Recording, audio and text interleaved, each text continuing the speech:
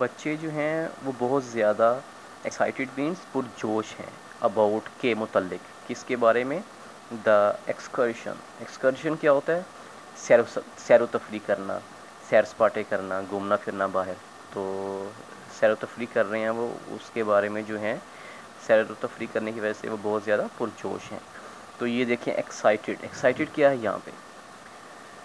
Excited यहाँ पे objective है। ऑब्जेक्टिव क्यों है?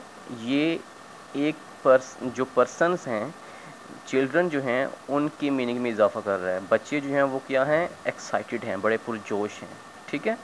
तो ये एड मीनिंग टू एक्साइटेड ये यहाँ पे सॉरी ये जो एड मीनिंग टू एक्साइटेड है, ये वेरी के बारे में डिस्क्राइब कर रहा है। मैं आपको सिंपल बता रहा हूँ कि एक्साइटेड है क्या पहले?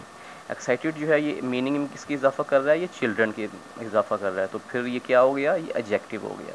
तो an adverb can also add meaning to an adjective तो एडजेक्टिव के मीनिंग में मजीद इजाफा क्या हो रहा है कि एक्साइटेड हैं। कितने एक्साइटेड हैं? थोड़े एक्साइटेड हैं, ज़्यादा एक्साइटेड हैं, कितने एक्साइटेड हैं? वेरी एक्साइटेड बहुत ज़्यादा एक्साइटेड ये एडजेक्टिव के मीनिंग में मज़ीद इजाफा कर रहा है। तो ये क्या हो गया? एडवर्ब हो गया okay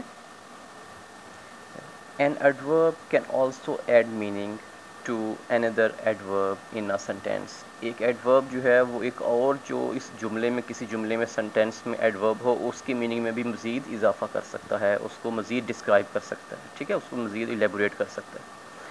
तो यहाँ पे एक एग्जांपल देखें क्या है? Mister Brown speaks Chinese quite well Mister Brown जो है वो बोलते हैं चाइनीज़ क्वाइट काफ़ी अच्छे ठीक है? वेल well, अच्छी। ठीक तो काफ़ी अच्छी चाइनीज़ बोलते हैं मिस्टर ब्राउन। तो यहाँ पे देखें, ये किस की मीनिंग में इजाफा कर रहा है? ये वेल की मीनिंग में इजाफा कर रहा है, क्वाइट। तो वेल क्या है? पहले हमें ये देखना पड़ेगा।